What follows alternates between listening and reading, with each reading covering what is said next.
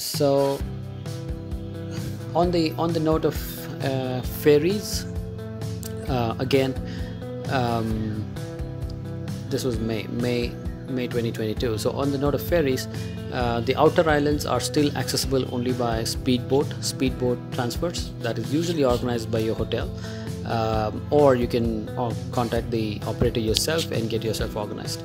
So earlier before the covid had set in there used to be um, public ferries which would operate to the outer islands and it would cost you a fraction of what the speedboat transfers cost um, but they would take two to three three to four hours depending on the distance of your uh, island from Male.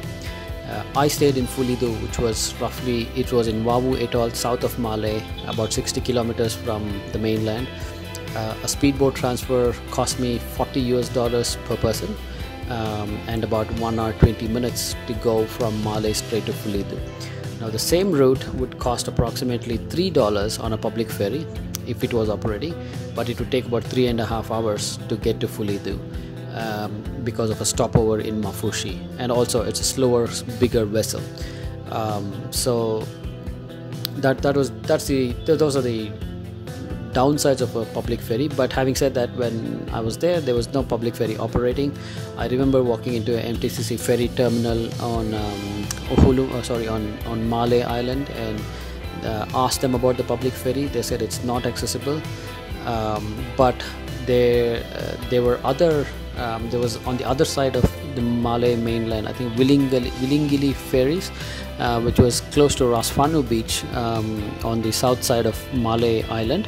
Uh, those were operating public ferries that would go to three different islands um, in different atolls. And that was those were the public ferries that were operational. Now they didn't have ferries to Fulidhoo from there but definitely had um, ferries to three other islands. I will leave um, the name and the, the, names of the islands in the description. Um, or when I'm uploading this video I will figure out what those names were and add it in the video. But those three islands definitely had the public ferry operating. They were like three or four dollars per person. Um, but I didn't have it to Fulidhoo. So the other option is obviously a speedboat transfer. If you are traveling in groups of maybe six to eight people you can actually negotiate a rate with the ferry guy or you can even have your own private ferry uh, because it might be a lot more cheaper for you to go that way.